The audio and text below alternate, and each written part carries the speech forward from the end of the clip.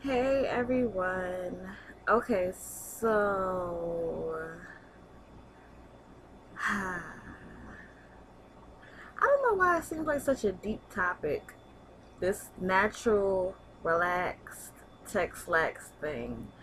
But pretty much, um like my hair is natural. Well right now because I have braids in that I'm gonna be taking out in like two days. I already took out the um the middle section, and I have like three of these really chunky braids piece like that.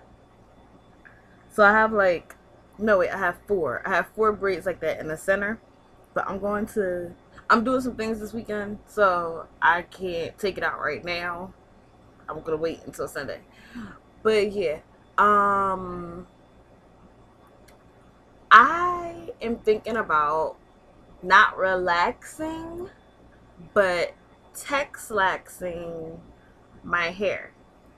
And I've come to this decision because, well, I'm not sure if I'm going to do it, but I'm like thinking about it because my hair, like, it's just really become a hassle. Like, I, I don't get to really enjoy it. Like, I want to wake up, do my hair, and it's just good to go. Like, I know no matter what, like, there's going to be, um, things to deal with like even with the Texlax like you have to make sure that you're dealing with the two textures and everything like that and making sure that your hair is moisturized and you know everything. But i just i think that i want to do it. I just i'm just nervous because i don't want to do it and then my hair is just like and i hate it because then i'm just gonna be like what am i gonna do? I'm like stuck with it. But I don't know, like it's either gonna get texlaxed or I'm gonna try and heat train it. Now to me, I don't really see like the difference only because they're both technically I don't want to say damaging your hair, but I don't know, whatever.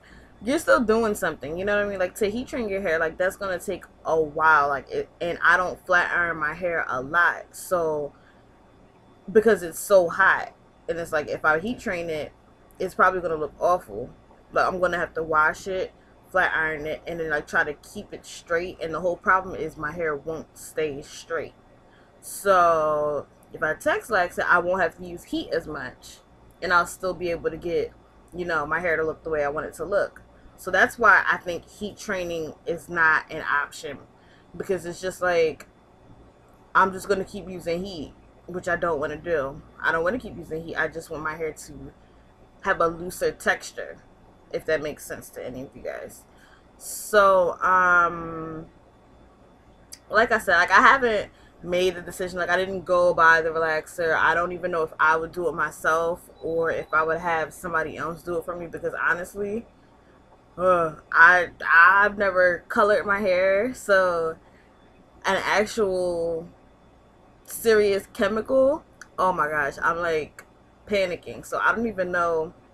I might um see if I can get my old hairstylist to do it. Like she was great. Like when she used to do my hair when I was in high school, it was just great. And then when I went to college, I started like doing it myself. And then things happened, and then I just decided to like start my hair journey up again when I was in college. And of course, like you know, like I'm out now or whatever. So um my hair is grown out and like I haven't seen it in like seven weeks but the last time I had it out like it was a good length like it was past armpit length and I'm just dreading washing it and trying to flat iron it in hopes that it stays straight. Like I really don't think that it's gonna stay straight. Like I since I got this new blow dryer you know I'm gonna give it a shot and hopefully with my handy dandy new blow dryer and my chi flat iron, everything will just stay straight and it'll look real cute.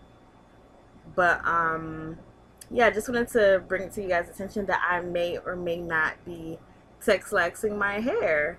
And I've been natural all my life. Um yeah. Like it happens. I don't know. Tell me what you guys think. Alright, see you guys.